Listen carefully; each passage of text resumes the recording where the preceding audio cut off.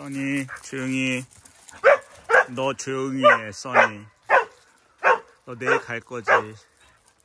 동네가 조용해질 것 같아.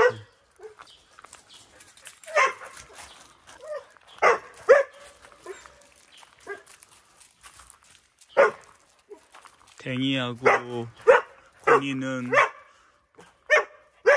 간식을 개부터 하고 있습니다. 중이는 어저께 목욕을 시켰고요.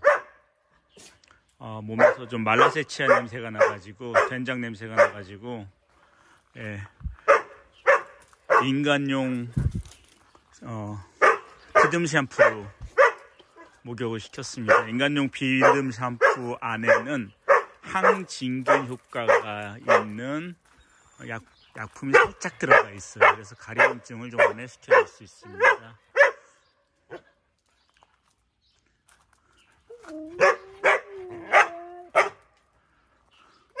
오늘은 고니를 목욕시킬까 생각 중이에요.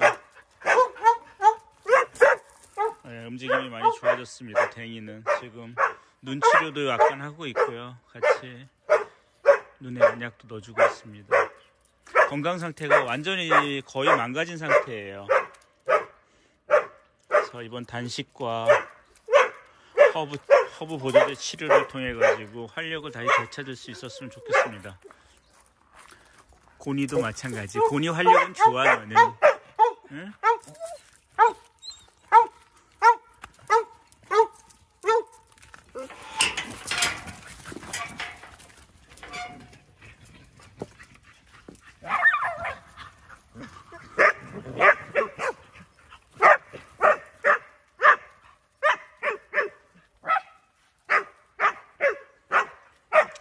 분리는 처음 왔을 때 3일 동안 발작을 매일 하더니 그 이후에는 지금 전혀 안 하고 안정된 심리 모습을 보이고 있습니다. 누가 내 뒤치고 갔는데 곤이었구나.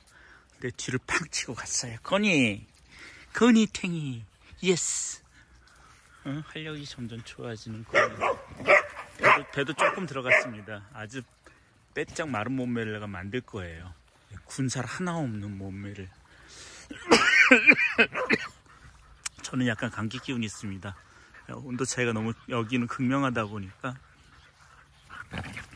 네, 오늘은 원반놀이를 한번 하면서 어, 분리 흥분을 한번 최대한으로 끌어올려 보겠습니다.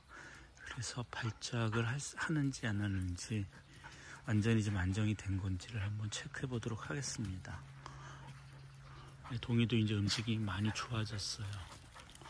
동이도 살을 완전히 다 빼버릴 겁니다. 아, 제 꼬리만, 목욕하면서 꼬리 만 져보고 깜짝 놀랐어요.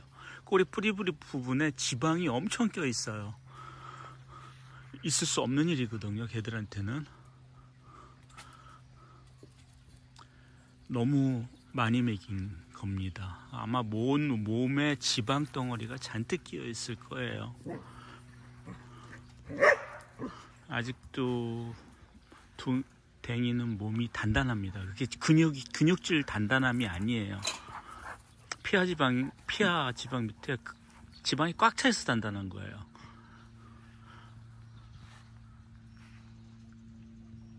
댕이 들어올 거야 운동장에 이제 어, 관심이 있어 애들하고 놀고 싶어 아, 아니요 외면할래요.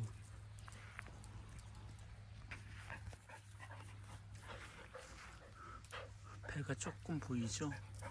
살짝 들어가가지고 응? 건이야. 응? 엄마한테 인사해. 어머 잘 지내고 있어요. 저는 여기 양평에서 너무 좋아요. 신나요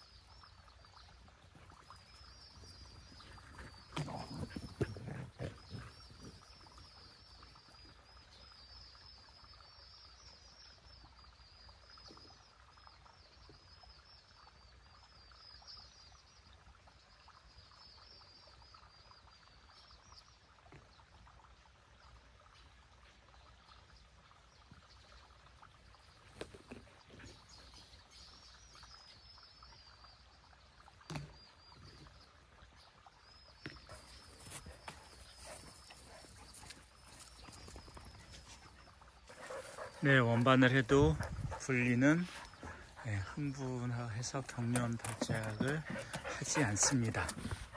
아주 안정됐어요. 물 한 사발 들이키시고 밖으로 밖으로 나갑시다. 어, 어, 에우. 고니 넌 또 혼자 남아서 운동장에 놀 거지?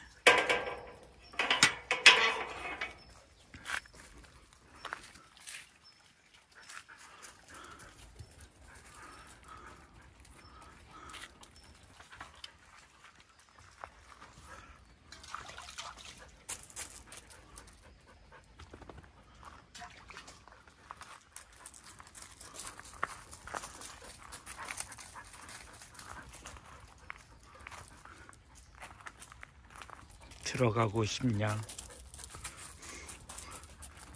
네, 문좀 열어주세요, 대장. 어, 들어가고 싶어요. 어, 오늘은 물이 잘, 어, 열리네.